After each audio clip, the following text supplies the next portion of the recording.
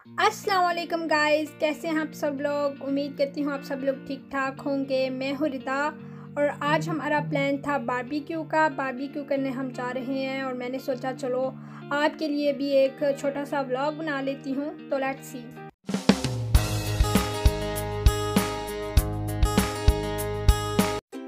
यहाँ पर जी प्रिपरेशन हो रही है बारबेक्यू की और बारबेक्यू का मसाला एक दिन पहले ही प्रिपेयर करके रख देना चाहिए ताकि उसका टेस्ट जो है वो ज़्यादा अच्छा हो जाए। एटलीस्ट ट्वेल्व हाउस पहले प्रिपेयर कर लेना चाहिए मसाला इसका। और यहाँ पर तैयार करने मेरे भाई, उनको कुकिंग का बहुत शौक है। तो नेक्स्ट में भी कुछ व्लॉग्स मैं लाऊँगी जिसमें कुकिंग का मैं आपको कुछ बताऊँगी। तो इसमें ऐड कर रहे हैं सॉल्ट अब, और पहले से इनमें ऐड करके रखा हुआ था garlic green chilli and onions और ये जो है यहाँ पर ऐड हो रही है। रेड चिली ज़ीरा एंड धनिया तो अब इसमें हम ऐड करेंगे कबाब, चपली, मसाला और इसमें हम थोड़ा सा चाट मसाला भी ऐड करेंगे और बाद में आप देखेंगे कि हम इसमें थोड़ा सा कॉर्नफ्लोर भी ऐड करेंगे। तो इस तरह से हमने अपना मसाला जो है वो प्रिपेयर किया है। ये देखें, ये कॉर्नफ्लोर जो है वो ऐड हो रहा है। बारबेक्यू जब करेंगे तभी मैं आपको दिखाऊँगी। तो ऐसे मसाला जो है वो मिक्स कर रहे हैं। और इसके कबाब जो हैं वो हम जाने से कुछ देर पहले बना लेंगे ताकि वो हम आसानी से वो बारबेक्यू के लिए रख सकें उन्हें। तो ये देखें, ये प्रिपेयर हो गया अब। तो आप चलते हैं सेकंड डिश की तरफ़। और वो है जी बोनलेस चिकन और उसके लिए यहाँ पर प्रिपेयर हो रहा है मसाला यहाँ पर योगर्ट ऐड किया है और लेमन ऐड किया है सॉल्ट है, ये है जी वाइट पेपर और यहाँ पर मसाला ऐड हो रहा है चपली मसाला थोड़ा सा चाट मसाला एंड थोड़ा सा चिकन मसाला ये सब मसाले हमने ऐड कर दिए क्योंकि इसका टेस्ट बहुत अच्छा हो जाएगा तब। तो ये हो गया जी प्रिपेयर और इसमें देखते हैं आगे क्या क्या ऐड होता है। ये है जी रेड पेपर और ज़ीरा ऐड हो रहा है इसमें और इसमें धनिया हो रहा है ऐड और इसमें अब हम ऐड करेंगे जी थोड़ा सा एप्पल साइडर विनेगर ताकि वो जो चिकन है वो अच्छे से मैरिनेट हो जाए।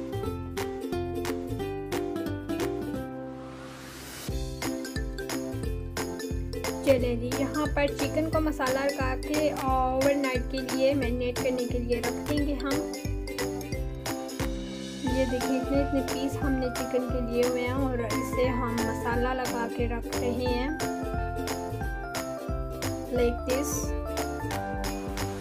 तो इसे हम रेफ्रिजरेटर में ओवरनाइट के लिए मैरिनेट करने के लिए रख देंगे।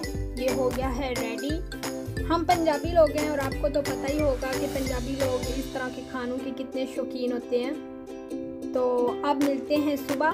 सो, अल्लाह हाफिज़। हाँ जी, अस्सलाम वालेकुम।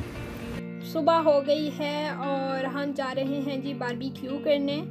तो अम्मी भाई और दूसरे लोग जो हैं वो जा चुके थे गाड़ी पे।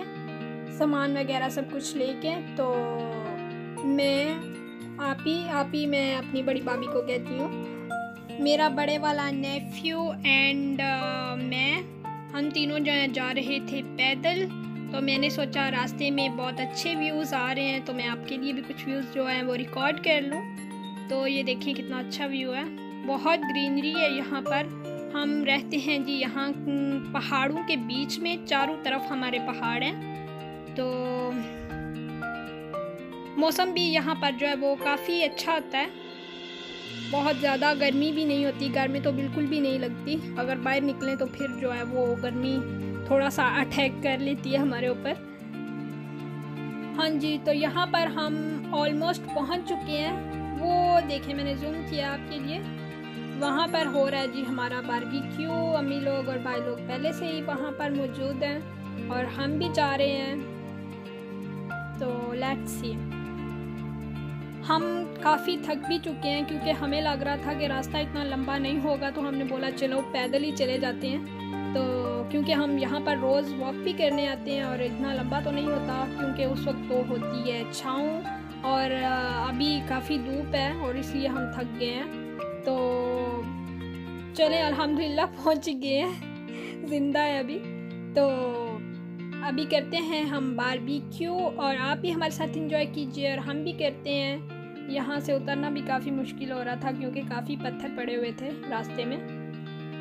यहाँ पर जी काफ़ी खामोशी थी, सिर्फ़ पानी का शोर था, हवा थी थोड़ी बहुत और बहुत अच्छा फील हो रहा था क्योंकि हम पीछे से आए हैं जी, धूप में बहुत धूप थी वहाँ पर और यहाँ पर थोड़ा सा आके हमने पानी में हाथ धोए हैं, पाँव धोए हैं और काफ़ी ठंड पड़ गई है हमें। यहाँ पर हो रहा है जी बारबी बारबेक्यू, ये है कच्चे कबाब वो देखें, कितने मज़े का बारबेक्यू हो रहा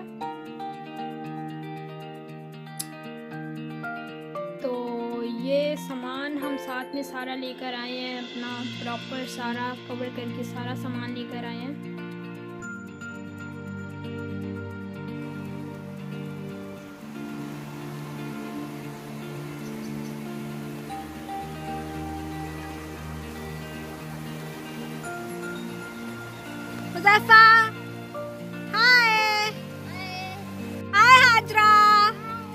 ये अम्मी बैठी हुई है मेरी। और ये है मेरा नेफ्यू हाय यहाँ पर भाई लोग कर रहे हैं जी। चिकन हम जी डिनर अब करेंगे इसी के साथ और ये दिखने में इतना मज़े का लग रहा है और खाने में भी काफ़ी मज़े का था। तो मैं अब आ गई हूँ यहाँ पानी में। मेरा काफ़ी यहाँ पर बैठने का दिल कर रहा था तो मैंने सोचा चलो मैं चल के बैठती हूँ थोड़ी देर। बहुत मज़ा आ रहा है ठंडा ठंडा पानी। जी तो चिकन यहाँ पर हो गया है रेडी और यहाँ पर जी हम टेस्ट कर रहे हैं थोड़ा सा कि कैसा बना है और तब तक के लिए हम चलते हैं जी ईसा के पास। Isa. Hello Isa.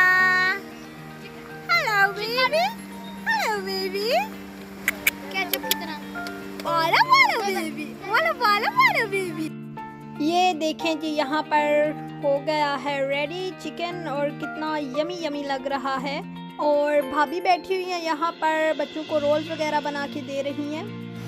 Hello hello पिकाबू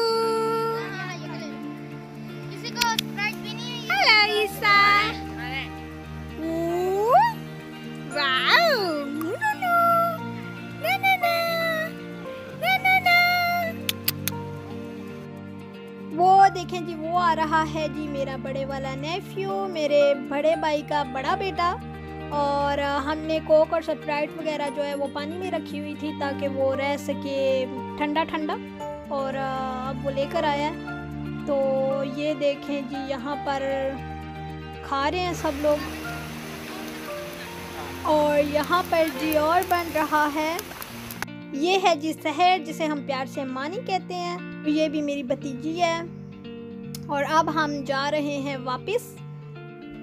क्योंकि काफ़ी लेट हो चुका था और अंधेरा भी होने लगा था तो हम वापस जा रहे हैं और मैं आपको दिखाती हूँ। यहाँ पर गाड़ी में चीज़ें रख रहे हैं। Like the video and the video and subscribe to our channel. And don't forget to hit the bell icon. कर दो भाई सब्सक्राइब अब तो बच्चों ने भी कह दिया है।